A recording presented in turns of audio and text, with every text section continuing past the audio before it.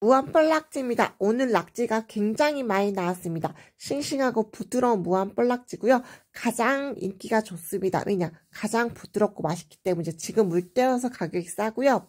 그리고 오늘 하루 입판장에서 가져오는 어, 할 안꽃게입니다. 1kg에 4마리 전으로 들어가고 있고요. 어, 오늘 가격대가 굉장히 좋습니다. 알이 가득 찼고 싱싱하고 맛이 좋은 할 안꽃게입니다. 목포 선화판장에서 가져온 항석어 중사이즈입니다. 보이시죠? 손도.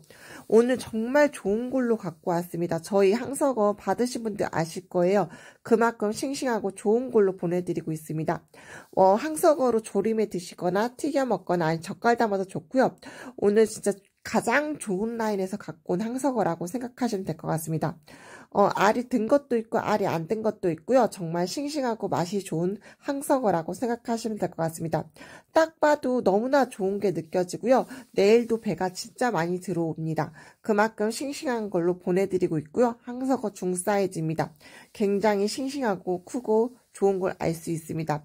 그리고 어, 이제 보시나면은 지도판장에는 젓갈용입니다. 젓갈용 항석어라고 생각하시면 될 것 같고요. 젓갈용 항석어는 사이즈가 작습니다. 절대 크지 않다고 생각하시면 될 것 같고요.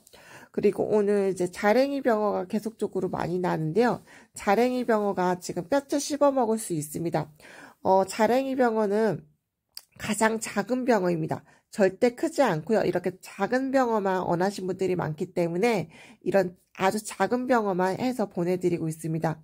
어, 뼈채 씹어 먹을 수 있고 고소하고 기름진 자랭이 병어고요. 이 자랭이 병어만 좋아하시는 분들이 굉장히 많습니다. 그만큼 싱싱하고 맛이 좋은 자랭이 병어라고 할 수 있습니다.